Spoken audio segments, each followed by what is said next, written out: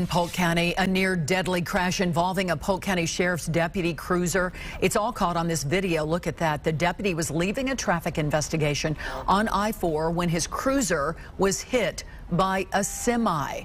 Fox 13's Ken Suarez shows us what happened next. When you see a law enforcement vehicle with its lights flashing on the side of the road, you have to give them room by changing lanes or slowing down 20 miles below the speed limit.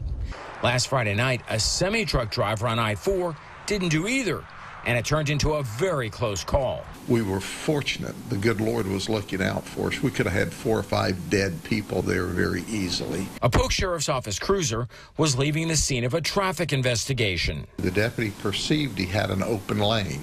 Well, he didn't. As the deputy pulled off, a semi crashed into him. His cruiser hit an FHP vehicle, then careened towards three people, hitting and knocking one down, scaring the bejesus out of the other two. This amazing video is a dramatic example of what a momentary lapse in judgment can lead to. Something else is amazing. No one, as the sheriff said, was hurt. The Polk deputy, Juan Sanchez, was treated and released from the hospital. The guy who got knocked down, well, he's okay too. The trooper's car was tore up. Our car was tore up. The truck was tore up. But no one was killed, which could happen next time if drivers don't move over when they should. In Polk County, Ken Suarez, Fox 13 News.